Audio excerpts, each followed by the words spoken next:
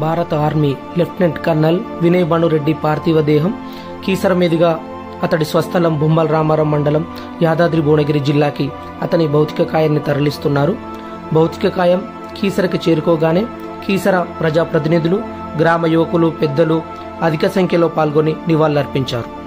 అరుణాచల్ ప్రదేశ్లోని దిరాంగ్ జిల్లాలో ఈ నెల పదహారున ఆర్మీ హెలికాప్టర్ కుప్పకూలింది.